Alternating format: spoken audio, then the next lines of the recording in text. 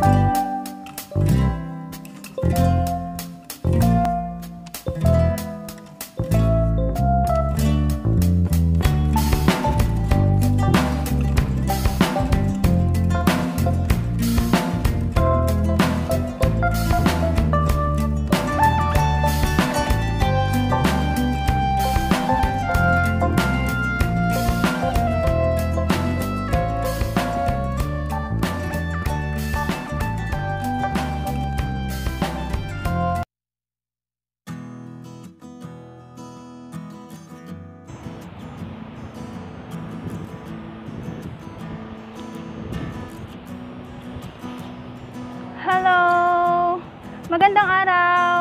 Si Arkeli po ulit ito.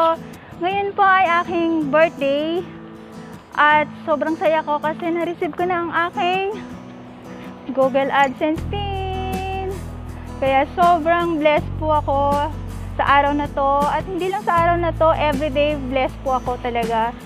Sobrang nagpapasalamat ako kay Lord kasi binigay niya na yung finally hinihintay ko. Medyo matagal na siya na delay-delay na siya pero so far so good at saka sobrang saya ko. Maraming salamat sa mga supporters ko. Ah, kaya naman meron po akong ibibigay ng mga tips, apat na tips kung paano nyo makukuha ang inyong Google AdSense pin. So manood lang po kayo.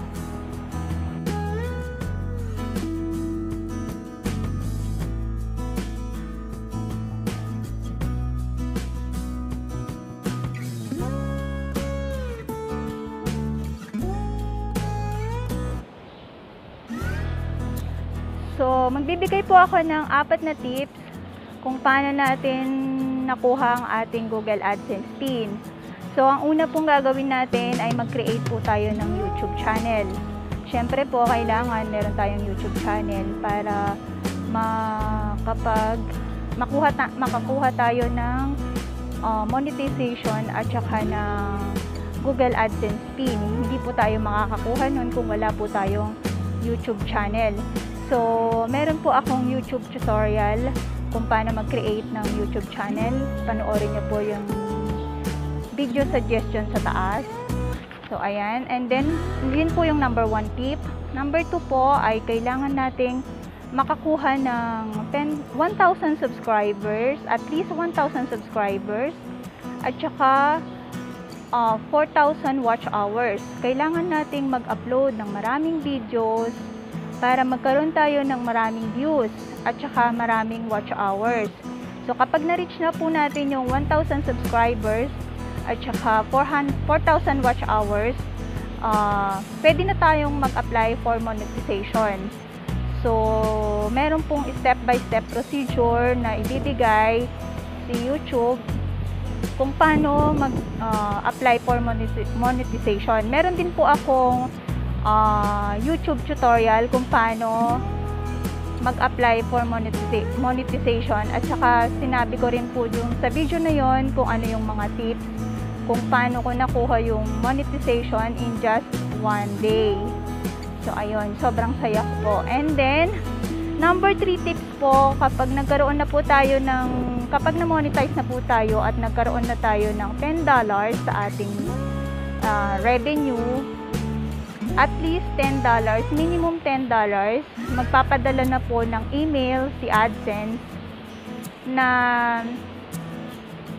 uh, in just uh, in just 2 to 4 weeks makaka-receive na tayo ng uh, address verification code galing kay AdSense. Ipapadala niya po yon within 2 to 4 weeks. So, hintayin lang po natin yon Huwag po muna tayong magre-request. Kasi merong iba na hindi pa nila nare-reach yung 4 weeks, nagre-request na sila. Kailangan po nating hintayin yung 4 weeks bago po tayo mag-request ng PIN. So, ako po, mm, dati, 4 weeks na, wala pa din. So, nag-request ako ng another PIN. So, kay, kaya po, ito, ito na yung pangalawa. Ito na po yung result ng uh, Google AdSense pin na ni-request ko. And then, number 4 tips po, Ah, kapag na-receive na po natin yung ating Google AdSense PIN, kailangan po nating mag-sign in sa ating Google AdSense account. Ah, dapat po sakto yung mga information or mga personal information na nilagay natin sa ating Google AdSense account para kapag pinadalan tayo ng verification address ni YouTube, ni AdSense, e-enter na po natin yung anim na digit. Anim na digit, ito po yon. And then, kapag na-enter mo na po yon, ah, follow mo po yung instruction na sasabihin sa'yo, ah, nakalagay dun sa sa yung YouTube ah, AdSense account and then uh, isa- i-submit mo na siya.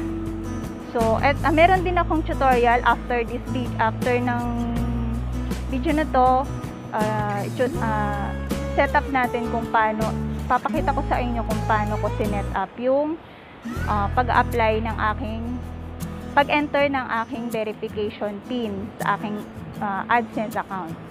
So, ayun, meron tayong apat. Una, mag-create ng YouTube channel. And then, kapag na-monetize na tayo, number two, ah, pag na-monetize na tayo, kailangan nating hintayin lang ang ating ah, Google AdSense PIN, number 3 yon. And then, number 4, i-submit na natin or i-enter natin yung Google AdSense PIN na sinend sa atin ni Google AdSense. So, ayan po, sana may natutunan po kayo. Panoorin nyo po yung next, yung video ko kasunod nito ah, kung paano i-set up yung ating Google AdSense PIN sa ating account.